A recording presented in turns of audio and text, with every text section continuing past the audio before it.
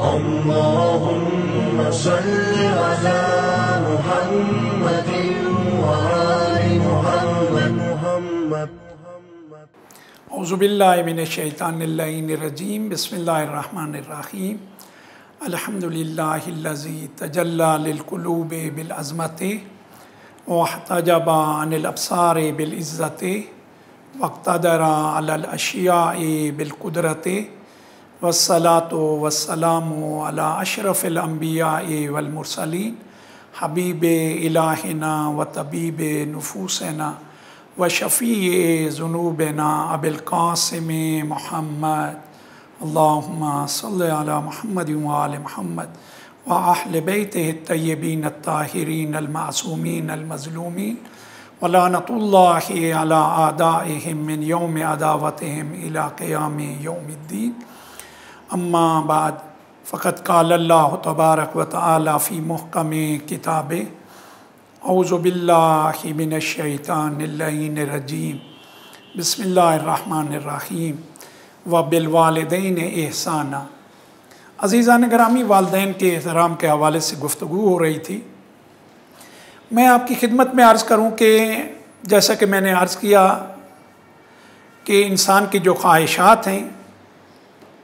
मुमकिन है उनकी तादाद को हर एक के लिए शुमार करना आसान नहीं हो, क्योंकि ख्वाहिशात इंसान की बहुत होती हैं।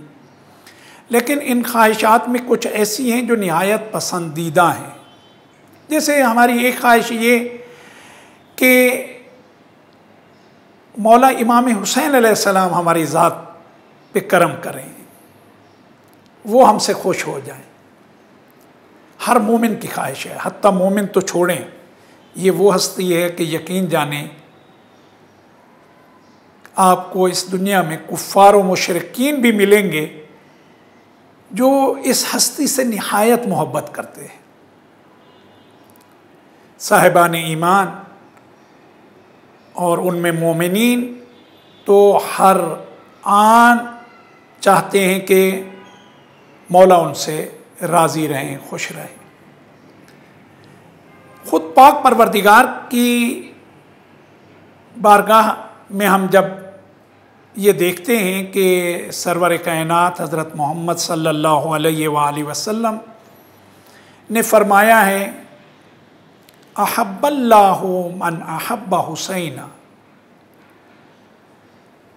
अल्लाह रब्बुल इज़्ज़त उससे मोहब्बत करता है, उसे पसंद करता है, जो मौला इमाम हुसैन से मोहब्बत करता हो।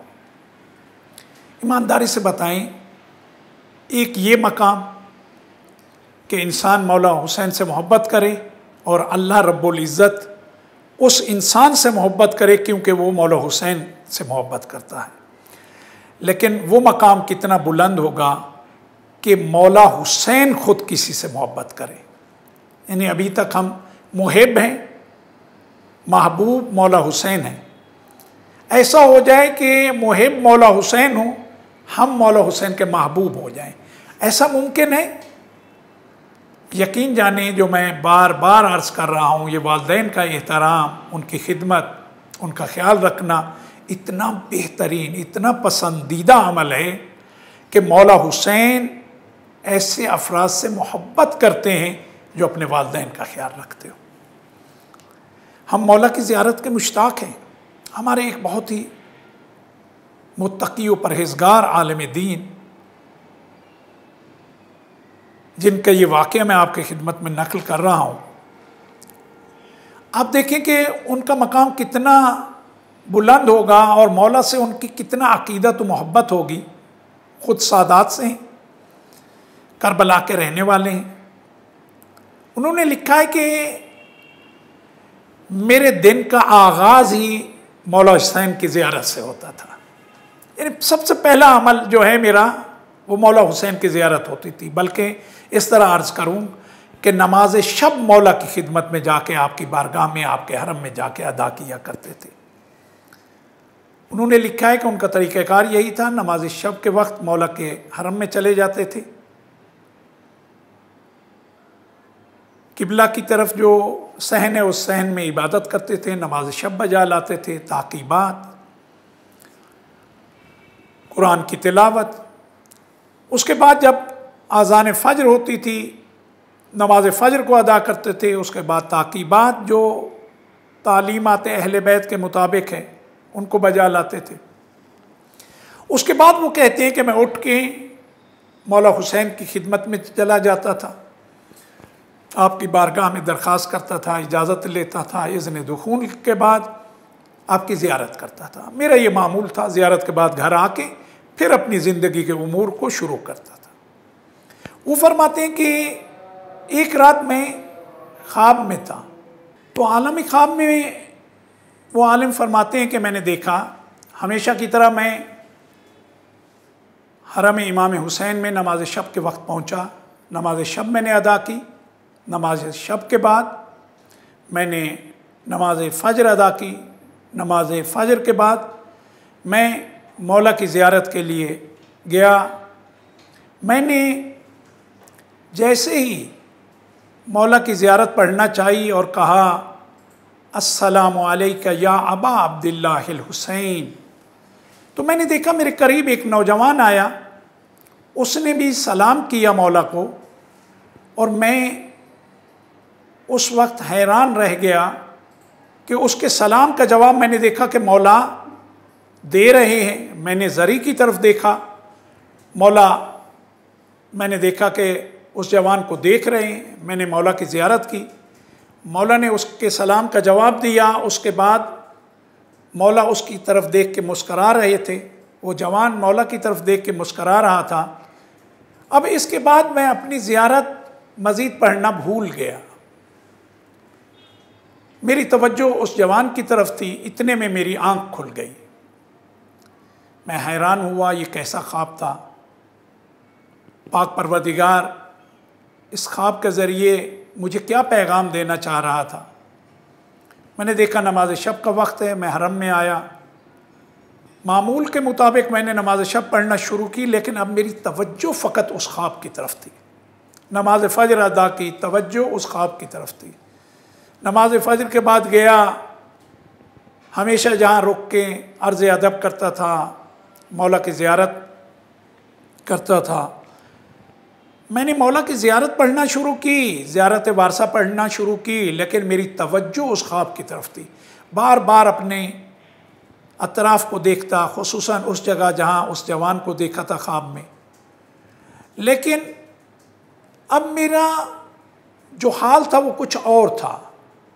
घर आया, पूरा दिन इसी तरह गुज़र गया, वो ख्वाब मेरे जहन में रहा। अगली रात इसी तरह गुज़र गई। मैं मामूल के मुताबिक आया, लेकिन अजीब है।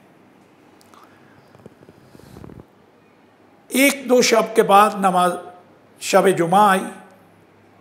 मैं मामूल के मुताबिक जैसे जाता था, उसी तरह अब कैफियत, ये थी, ये ख्वाब याद आता था। लेकिन नमाज़ शब भी हो गई, नमाज़ फ़जर हो गई, मैं आके जैसे ही मौला को सलाम करने के लिए रुका, मैंने देखा वही जवान आया है। अब मेरी तवज्जो उस जवान की तरफ़ है। उसने सलाम किया, मैंने देखा मौला की ज़रिए से सलाम का जवाब आया। मैंने ख्वाब में मौला की ज़्यारत की थी, लेकिन अभी मुझे मौला नज़र नहीं आए, मैंने आवाज़ सुनी मौला की। अब जवान की तरफ़ जब देखा, जवान उसी तरह मुस्करा रहा था जैसे ख्वाब में मैंने मौला को और जवान को मुस्कराते हुए देखा था। जवान ज़्यारत करके जैसे ही जाने लगा, जब वो सहन में पहुँचा, मैंने उसकी पुश्त पे हाथ रखा, उसके कांधे पे, और उसने मुझे देख के कहा, या सैदी कैसे हैं आप? क्या हुक्म है? मैंने कहा कि, मुझे इतना बता दो, इसमें राज क्या है? बिल आखिर जब उस जवान को यकीन आ गया, मैंने उसे कहा, मैं इस तरह ख्वाब देख चुका हूँ। तो उस जवान ने मुझे कहा कि, मैं एक मुद्दत से अपने वालदेन को लेके आता था ज़ियारत पे। एक हफ़्ते अपनी वालदा को, एक हफ़्ते अपने वालिद को। मेरे पास जो सवारी थी, उसमें इतना ताकत नहीं थी, दो अफराद का बोझ उठाती। मैं खुद पैदल रहता था। कुछ वक्त पहले ऐसा हुआ कि मेरे वालिद की बारी थी, मैं उनको लेके जब घर से निकलने लगा, मैंने देखा कि दरवाजे पे मेरी माँ रुकी है और तैयार है। ज़्यारत पे चलने के लिए मैंने कहा, माँ, आपको मालूम है बाबा की बारी है? माँ ने कहा कि, नहीं बेटा, मुझे लगता है कि मेरे पास ज़्यादा वक्त नहीं है। मैं जहरा के लाल की एक बार फिर ज़्यारत करना चाहती हूँ। मैंने जैसे बचपन में बच्चों को शानों पे बिठाते हैं, मैंने माँ को ऐसे बिठाया, वालिद मेरे सवार थे, इस हाल में आया, आके मैंने हरम के बहर सवारी को रोका वाले साहब मेरे नीचे तशरीफ़ लाए। मैंने देखा कि अजीब है। वालदा को इसी हाल में लेके मैं अंदर गया, हमेशा की तरह ज़ियारत वो की मैं जैसे ही सलाम मैंने किया, अस्सलाम वालेकुम या अबा अब्दुल्ला।